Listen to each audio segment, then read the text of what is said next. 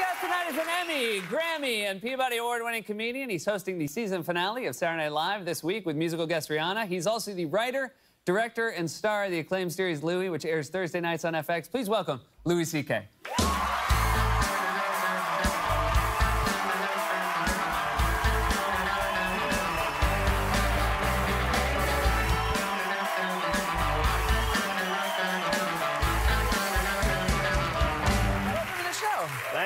Good to have you here. So this Nice to is three hosting in three years for you. That's right. Three in a row. It's a big deal. It is. I should probably slow down a little bit. No, it's good. When you got a hot hand like this, if you take a year off, you might just fall out of favor. I might be not able to do it anymore.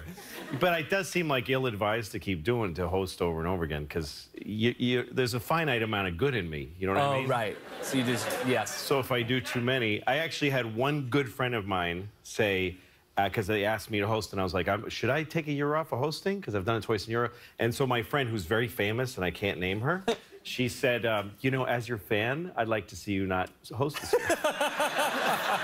and then my other friend, who's even more famous, said, uh, you know, I'm your friend. I think you should take a year off. Wow. And so I was like, I'm doing it. Now I got to do it. yeah, now you gotta prove. Yeah. Now I have to do it because there's so many signs that it's going to be like some kind of a awful disaster or something. Yeah. And when you get an opportunity like that, you got to go for it. Well, here's the thing, too. I can guarantee you this. Yeah. You, if you run out of good on Yeah. Saturday, Rihanna will not. That's right. So she's you're- very she's excellent. She, that's not, Yeah, it's it's not like- going to happen I- with yeah. musicians. So if it's, if anything goes Right. wrong, it's At least you. there's the two songs. yeah. It'll be great. The rest of it's sorry. no, I love hosting the show. I love it. It's one of And my favorite you had auditioned for the show uh, years ago. Yeah. But uh, no hard feelings now or ever. Have you? Do, Did you ever have hard feelings? No, of course not. Yeah. I mean, you can't be in show business and not get things and then get Right. upset. You know, it's just the way it goes. But I, yeah, I did audition at a comedy club. Uh, they had uh, uh, they a bunch of comedians went on, and everybody on that audition but me got hired. Every single person. It was. I was like, Did you feel? did you feel? Lord have mercy. Uh, woo. yeah, it was tough. Did you feel during it like, oh, this is everybody's doing great? Yeah, I uh, oh during the audition, Yeah. I had a good set. I You- did yeah, good. okay, yeah. I did good. They just didn't, which makes it harder to not Right, get it. right. Because if you bomb, you're like, well, you know, I had a bad night, but I had a great night, and they're like, no, no not the best version of you. We don't want it anywhere near this place. Uh, and then you, uh, so you wrote for late night uh, this very show when That's Conan right. was doing it. That's right. And uh, every now and then you'd have to maybe fight for your comedy with the host, which happens still. I will let you know, still happens today. Of course it does, Writers yeah. are always and and uh, my writers, of course, I'm the one that has to wear a suit and tie, so they immediately treat me like the man. Right. No, you're the you're. They hate you. Yeah. God, they It's a hate good you way of so putting much. it. You don't, you'll never know how much they hate. you. um, well, you know, writers are in their 20s. I was in my 20s. Mm-hmm. And uh, so I thought, I just saw it like, I want to get my stuff on the show, you know. now I know that I was working for people that Yeah. I should have been helping because they were giving me money. if somebody hires you anything and they pay you money that you then go live your life with, you should really want to do whatever they need. You know, that's what I believe. At the time, I didn't believe that. I just thought, you Yeah. know. Uh, you can still sneak stuff on with the announcer. Yeah, because on uh, the, the basically you try to find your way around the approval process. You know, Yeah. there's a head writer and there's producers and there's standards and practice. But on Conan's show, there was a produ- uh, announcer named Joel, and he would make a little joke before he said Conan's name, like a little offside joke. So me and my friend Dino, who were like uh, two of the more, uh, we were, had been there longer than other writers. We realized nobody checks those. You just write them and you hand them to the to the guy. So it was The side door. yeah, exactly. Yeah. So we were like, what can we? So we came up with one, which was he said, uh, he goes, last night the missus gave me a pearl necklace. yeah. That's about a, a 40% understanding what the joke means, Right. right? I think. I don't know how many of you understand the pearl necklace idea. You don't know what it means to give your wife a, or any woman That's a Or nice, man. Yeah, exactly. a pearl necklace. Yeah. And did he? Uh, You Joel didn't. You guys get it? We'll throw, sure you know they get it. We'll throw up a link down here, an internet link, right here. And uh, It'll that'll- explain what yeah. a pearl necklace. It might just say the internet. Yeah, and you can just find it from Yeah. there. Yeah. Google pearl necklace. Yeah. You'll see a bunch Yeah. of pearl necklaces and Yeah. And you would, What now just to make it clear, the unconventional one that doesn't fit the sort of No. the Zales that, no, page. I would not have been excited to get a joke yeah, and did air. Joel didn't know about jewelry. He was in the 60% that didn't know. Well, who cares what he he's just Right, yeah. who reads the stuff. but uh, yeah, he's just he was like, "What is this? Just read it." Yeah, we, he had no power. Yeah. And did you feel But me and Dino were so excited and we were giggling in the bathroom. I can't believe we got the joke on the air. And then the head writer was in the stall. We didn't know he was in there. And he said, What joke? and we told him the joke, and he was like, Oh, well, that's a stupid joke because he didn't get it. he didn't get it. Perfect. So, We'll come back, talk about uh, Louie, because the Okay. season's been incredible. Uh, we'll be right back with more from Louis C.K.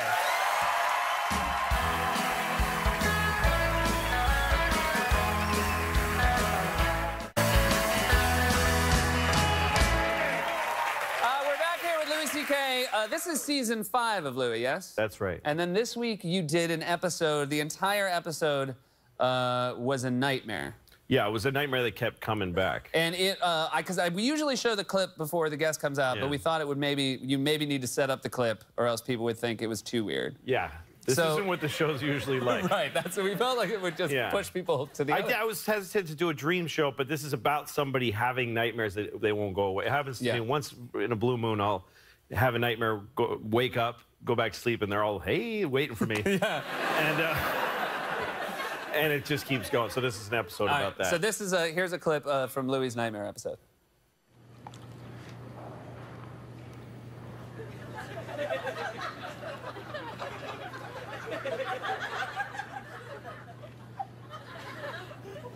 Don't!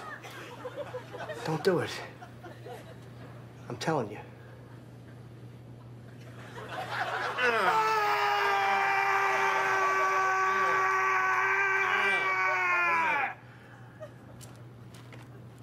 oh my god!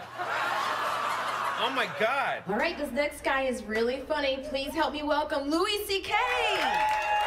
Oh my god!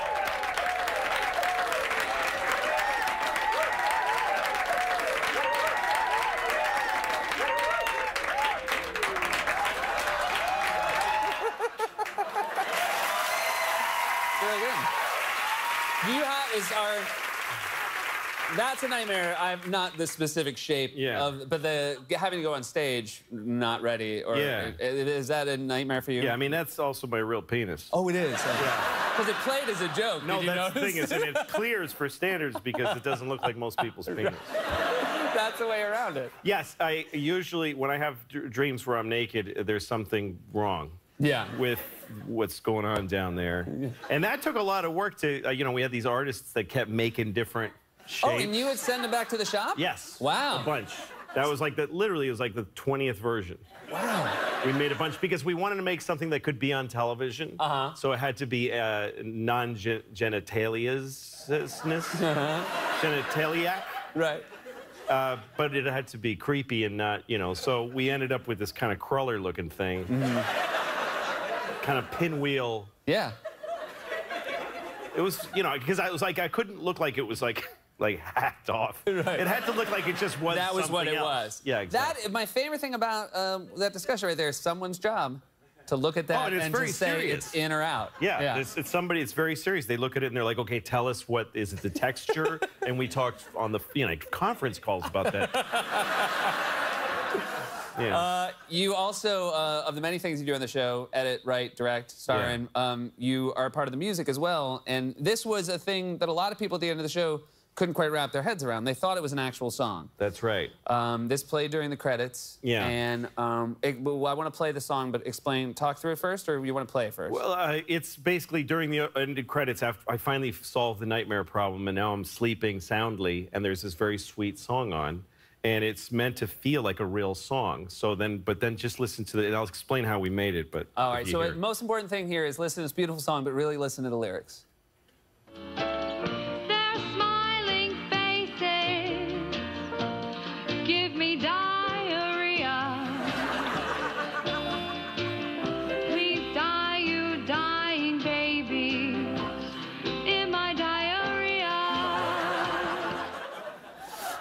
Beautiful. Yeah. Beautiful Gorgeous. song. Yeah. And it feels like Thank you. gorgeous. Felt like a different era of a different era. That's right.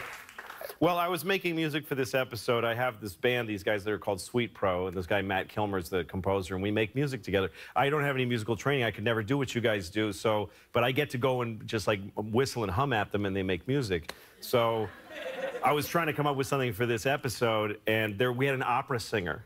A real opera singer who was singing this beautiful music. Her name is Giselle. Uh, uh, I forget her her last name. Uh, Giselle Bella. Z. Okay. Well, that's certainly. Giselle Bella, pause, Z. Okay. Yes. So she was there singing opera, and she has such a pretty voice. And I start, I thought, what about like a Roy Orbison kind of a song uh, with her voice? Uh, but with, and I just scratched these lyrics down and showed them to Matt because I had to leave. I had to go pick up my daughter at school, and uh, so he said, "Well, sing it." So I sang it into his iPhone. So somewhere there's a version of me singing that into an iPhone. And then he emailed me that that night, and I was like, "You got to be me. That's the greatest thing in the world." So we threw it on the end of the. It's yeah. re- it is really beautiful and it, It is. The great- word diarrhea is lovely. Yeah. When you don't know what it means. I mean, for me, I, I love the word diarrhea. Yeah.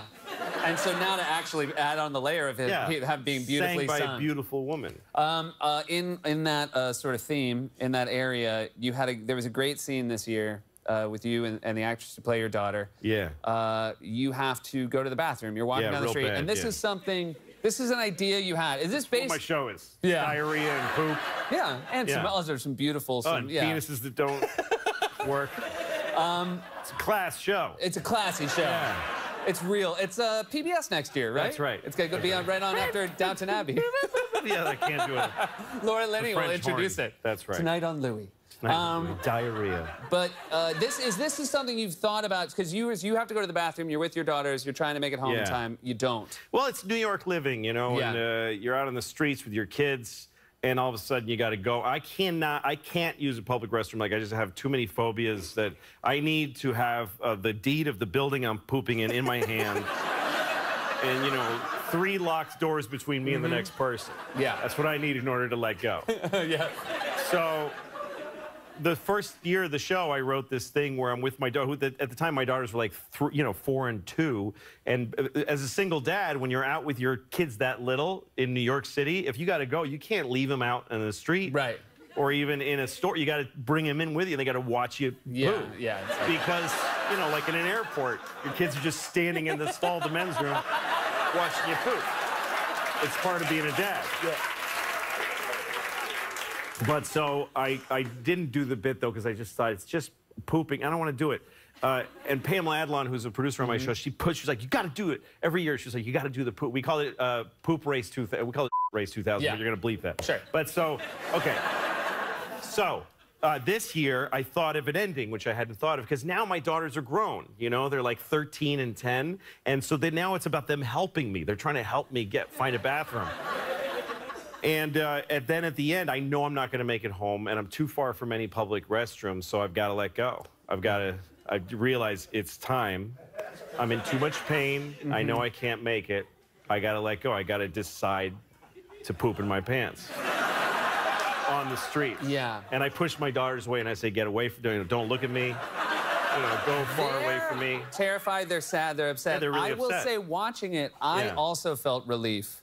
Yeah. When you let go. that moment, that's I realized that that was when I realized when I came up with that, I thought that's worth doing because that's profound. That Mm-hmm. you're there's no worse feeling. There's no worse feeling that in regular life than Yeah. when you got to go uh, number two and you can't. Which, by the way, for me, is number one in my book. I don't know why they call it. that. But,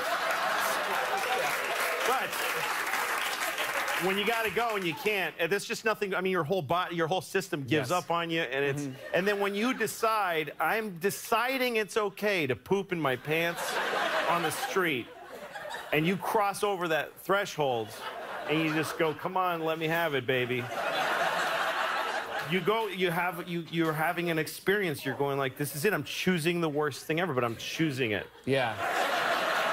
And as it happens, you're just like, "God is good," you know. Yeah.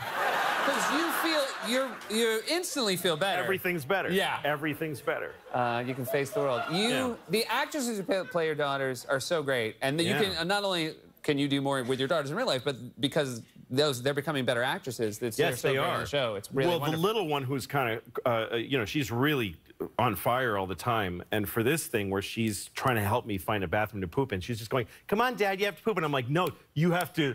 You, this is the worst thing that ever happened. I said, when I tell you to go away so I can poop in my pants, you have to act like you're a refugee being taken away from your dad.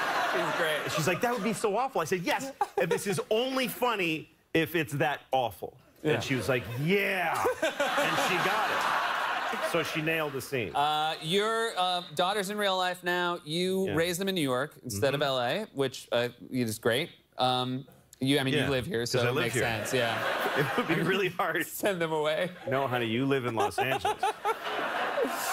Uh, but you also uh, you make sure they don't they're not uh, getting the, the the the luxury of show business from you. They're taking the bus to school. They still. take the bus, yeah. My daughter, my oldest daughter takes the bus. Little one, I still walk her to school, but the oldest one gets up at 6:35 and she's on the bus at like seven. You know, she's got to take the bus, and I've got this nice toasty Mercedes sitting there, and I'm like, it's not for you, baby. not for you. You didn't make that money. No. I try to teach her, you know, I think New York is a good place for Yeah. kids to grow up, and uh, she's got to learn common sense. One thing I teach her that I, I tell all kids that I know her age is, you know, sometimes creepy people in New York want to say something to you, or it, whenever somebody in New York goes like, uh, "Excuse me," like this, Yeah. I tell her, "You keep walking, and you shouldn't feel bad." yeah. Because who would, can, he's like, can I ask you something? Who would ask a little girl something? who that's lost, oh, there's a child alone. Can you help me out with something? So that's not a good person. You keep walking. Don't worry about Uh, it. good, good lessons to learn. Um, thank you so much for being Sure. here. Yeah, Always man. a pleasure to see you. Louie C.K. everyone, welcome to SNL this week with musical guest Rihanna and Louis. It's Thursday nights on FX. We'll be right back with Sharon Osbourne.